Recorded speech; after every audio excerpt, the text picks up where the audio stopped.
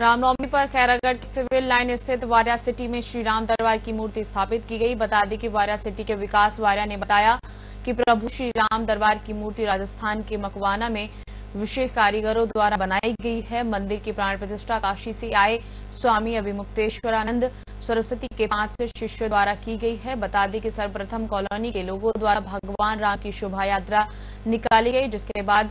Gwalior city में विधि विधान से प्रभु श्री राम दरबार की मूर्ति स्थापित की गई जिसमें बड़ी संख्या में भक्तजन शामिल हुए